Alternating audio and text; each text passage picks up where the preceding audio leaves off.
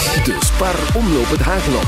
Dat is de eerste echte krachtmeting op Vlaamse bodem tussen de toppers bij de elite dames. 130 kilometer koers doorheen een van de pareltjes van het Vlaamse landschap. Met de Roeselberg als mogelijke scherpschutter.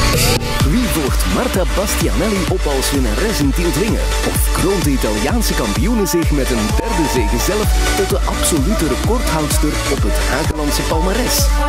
De Spar Omloop het Hageland. Zondag 1 maart. Live via de stream en een ruime samenvatting op Sportza.